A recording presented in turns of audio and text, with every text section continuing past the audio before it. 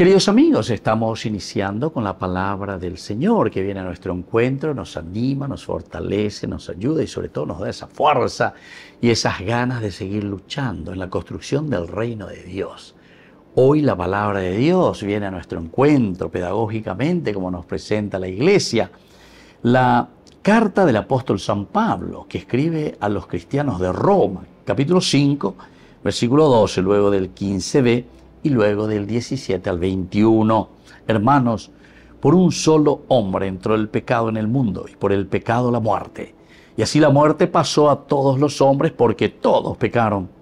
Porque si la falta de uno solo provocó la muerte de todos, la gracia de Dios y el don conferido por la gracia de un solo hombre, Jesucristo, fueron derramados mucho más abundantemente sobre todos.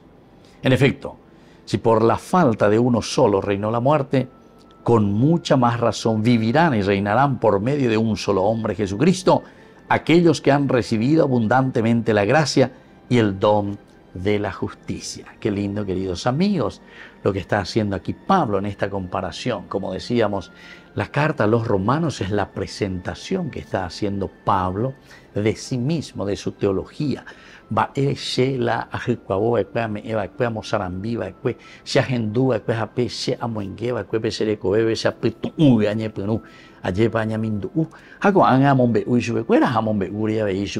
cómo fui creando estas comunidades imagínense Pablo que ha recorrido tanto y ahora al final está haciendo una síntesis. Qué es lo que yo he predicado y aquí nos dice así como entró el pecado a causa de un hombre Adán evidentemente ahora justamente por un hombre, es decir, el Dios que se ha encarnado en Jesucristo es el que nos trae la verdadera salvación.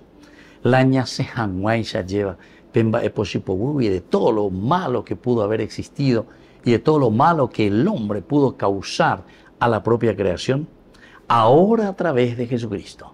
O sea, que de Yayetu, de Yarare, Jesucristo. Jesucristo es el único Salvador nuestro y por lo tanto tenemos que tener en cuenta que solamente en este camino, queridos amigos, podemos hacer un camino de retorno al Padre. Y esto es lo que tenemos que proponer. Hay tantos de nosotros que tenemos que retornar al Padre. Tenemos que retornar a Dios.